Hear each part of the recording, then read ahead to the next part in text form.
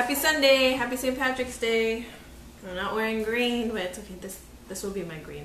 Okay, so my husband just found some ants along our um, sliding door window.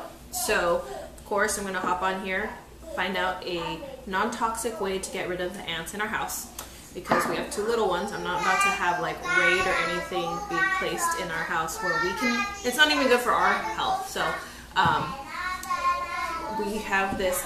Um, I have this oils plus glass book that has different recipes. I also knew there was a recipe with like peppermint that helps get rid of um, ants in the house, but I know that there's other powerful agents as well, so I'm using the recipe in here.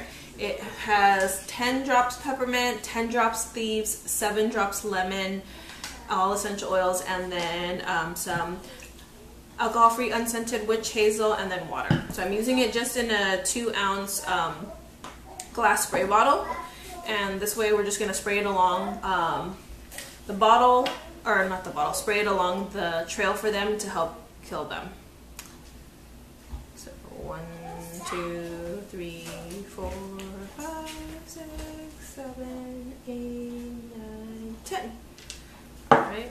And even in this um, oils and glass book, it has it on a two ounce bottle. So this is two ounces.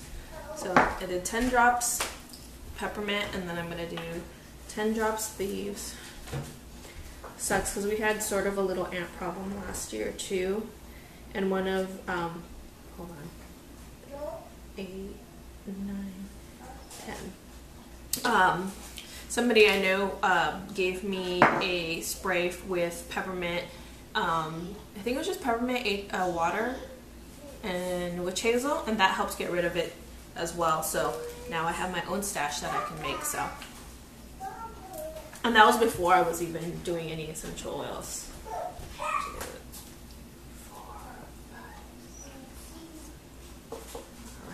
And so the lemon, this thing says that the lemon is to help mask the scent trails um, that you know the ants leave behind, as well as um, the lemon is toxic to ants too. So awesome. And then here's my witch hazel. So I'm just gonna add like a. It says a, a teaspoon of um, witch hazel, so I'm just gonna kind of do a little spray. And basically, the witch hazel is just to help um, mix the essential oils and water because what tends to happen with oils and water is it separates. So the witch hazel, and it, it kind of doesn't help like in a spray. It kind of just has it spray in a like a stream as opposed to spraying like as a um, like a shower, like a spray. I can't think right now. So now I'm going to put some water in here.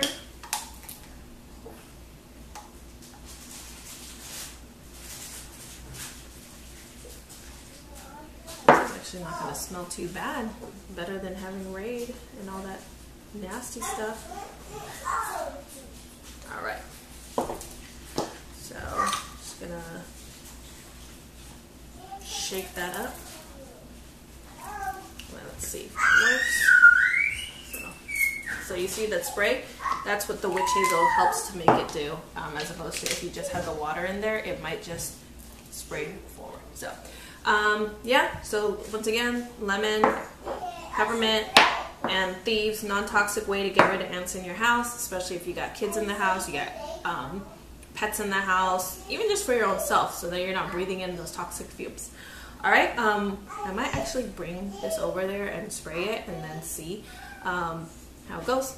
All right, look at these little boogers. You see them? Ooh. All right, so one there. I'm gonna go ahead spray them. Spray them on their tracks.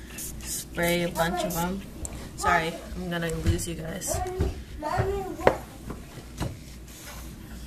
See that? They just stopped. They like, that one literally just died.